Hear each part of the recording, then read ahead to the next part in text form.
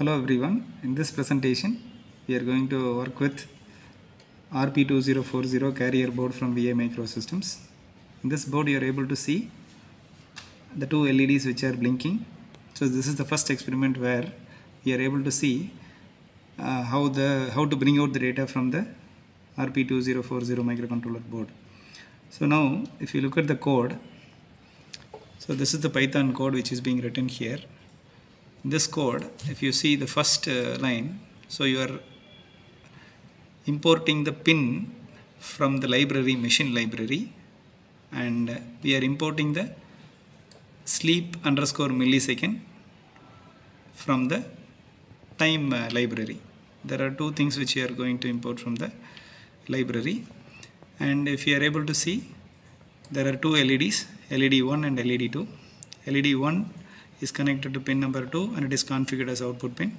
LED 2 is connected to pin number 3 and it is configured as output pin.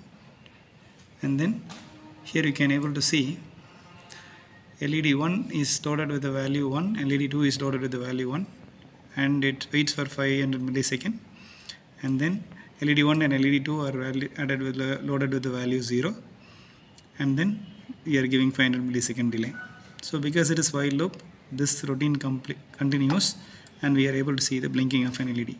Blinking of an LED is the best experiment to understand how to work with this microcontroller because microcontroller can bring out logic 1 as, well as well as microcontroller can bring out logic 0. So when the LED blinks that justifies logic 1 is coming out from the microcontroller through GPIO pin, logic 0 is coming from the GPIO pin. So this blinking of an LED justifies we can able to bring out logic 1 or logic 0 from the RP20 40 microcontroller from the carrier board from Vi Microsystems. Once if you develop the code and then we are uh, do uh, downloading the code by clicking this run button.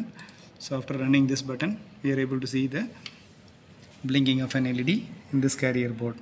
Now if I want to change the delay means I can able to see show you. So now the delay was around 500 millisecond. If I want to change the delay from 500 millisecond to uh, 250 millisecond so just I am changing this 500 millisecond to 250 millisecond between 1 and 0 we are able to see the difference right? So now I am going to uh, run this code. And then if you are able to see the blinking rate is increasing because the delay between 1 and 0 is 250 millisecond. So like this we can program the LED in the RP2040 carrier board in Vi Microsystems. As simple as this. So all the necessary softwares and hardware resources are being provided. It's very simple to learn and very smart way to learn RP2040 with this carrier board. Thank you